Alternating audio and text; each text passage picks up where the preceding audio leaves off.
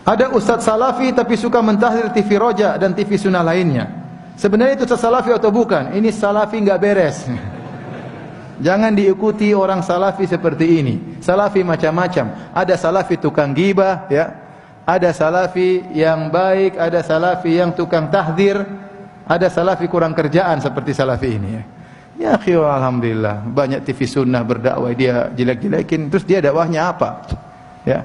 Tidak ada yang luput dari kesalahan. Kita kalau mau cek kesalahan dia mungkin lebih banyak tapi kita ngapain ngurusin kesalahan orang? Saya banyak salah kalau mau dicek saya banyak salah. TV Roja kalau mau dipreteli banyak salahnya.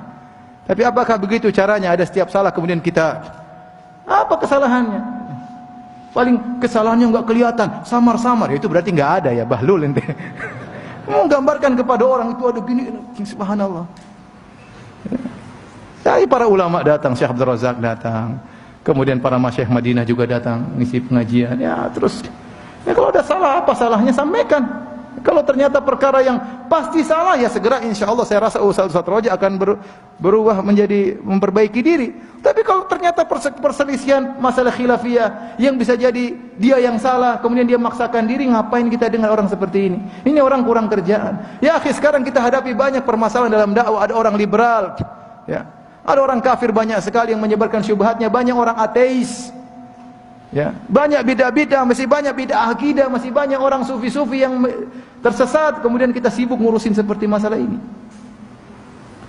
Saya nasihati antum dapati ada ustaz seperti ini, jangan hadir di majelisnya. Meskipun dia salafi, kita bilang salafi kurang kerjaan, faham? Tinggalkan dia.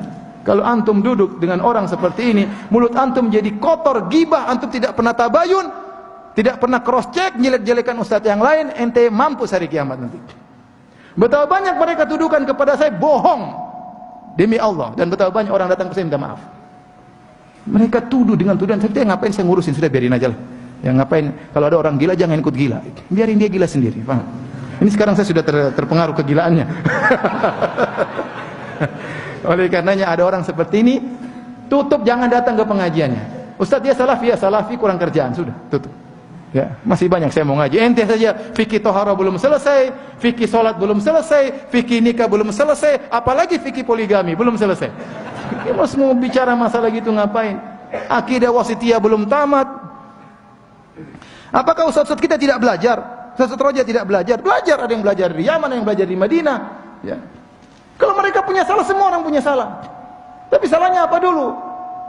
Apakah benar-benar perkara yang benar-benar salah atau perkara perselisihan bisa jadi dia yang salah bukan kita yang salah. Kalau kita mempreteli kesalahan dia mungkin banyak, cuma kita nggak mau kurang kerjaan seperti dia. Paham?